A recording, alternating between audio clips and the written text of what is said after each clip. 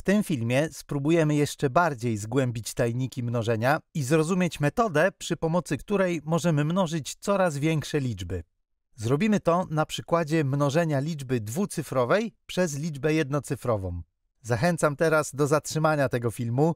Spróbujcie pomnożyć te dwie liczby jakąkolwiek metodą. 37 razy 6. Ok, spróbujmy skonstruować jakąś metodę. Można podejść do tego korzystając z miejsc dziesiętnych. Ta trójka znajduje się na pozycji dziesiątek, czyli reprezentuje trzy dziesiątki. Siódemka znajduje się na pozycji jedności, reprezentuje więc siedem jedności. Możemy w takim razie rozdzielić 37 albo rozbić na trzy dziesiątki plus 7 jedności. I to wszystko mnożymy razy 6.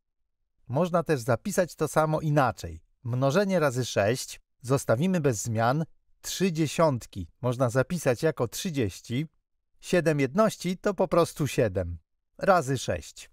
Możemy taki zapis zinterpretować jako własność rozdzielności i dalej pójść tym tropem. Możemy zastosować rozdzielność mnożenia względem dodawania. Rozdzieliliśmy mnożenie razy 6 na poszczególne części liczby 37 ale możemy bardziej intuicyjnie. 37 szóstek to to samo, co 30 szóstek plus 7 szóstek. Dodamy nawiasy, żeby było czytelniej. 37 czegoś to to samo, co 30 tego czegoś plus 7 tego czegoś. 37 razy 6 jest równe 30 razy 6 plus 7 razy 6. No to pomnóżmy to, co mamy w nawiasach. 30 razy 6, 3 razy 6 to 18, 3 dziesiątki razy 6 to 18 dziesiątek, czyli 180. 7 razy 6 to 42. Teraz wystarczy dodać te dwie liczby. Możemy znowu potraktować sprawę z punktu widzenia pozycji dziesiętnych. Na pozycji jedności mamy 0 jedności i dwie jedności, razem dwie jedności. Na pozycji dziesiątek 4 dziesiątki i 8 dziesiątek, czyli razem 12 dziesiątek, czyli 120. Na pozycji setek mamy tylko jedną setkę. W tej liczbie nie ma nic na pozycji setek, czyli 100. Jeżeli teraz te dwie liczby dodamy, to 100 plus 120 to dwie setki i 20, czyli 220 i dwie jedności to razem 222. To wszystko razem równe jest 222. To nie jest jedyny sposób wykonania takiego mnożenia. Możemy spróbować innym sposobem, który będzie łatwiejszy do prześledzenia tego, co się dzieje z liczbami w trakcie mnożenia. Zapiszmy tak. 37 razy 6. W tej kolumnie zapisaliśmy jedności, w tej kolumnie dziesiątki. Gdyby były jakieś setki, to pojawiłyby się tutaj i tak dalej. Taki zapis pomaga w kontrolowaniu sytuacji. Trudniej się pomylić.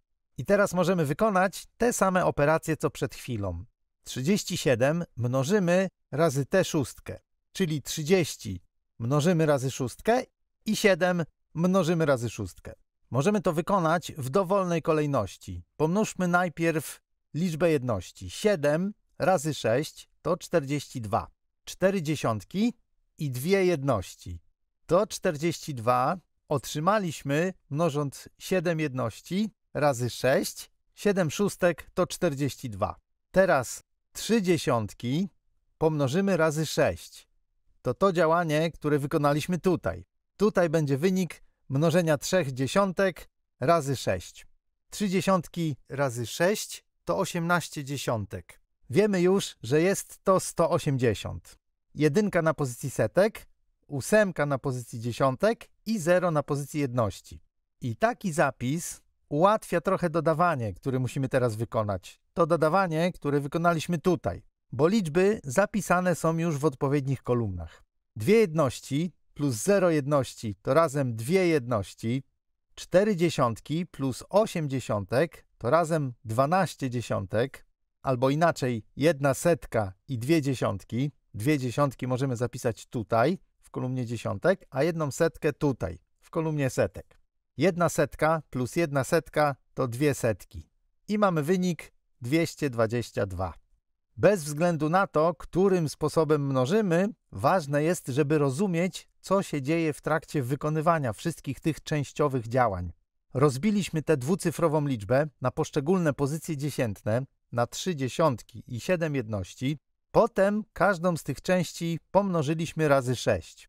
Zrobiliśmy to na dwa sposoby, a właściwie zapisaliśmy dwoma sposobami, bo działania cząstkowe, które wykonywaliśmy, były te same w obydwu przypadkach. Metoda mnożenia jest ta sama tutaj i tutaj.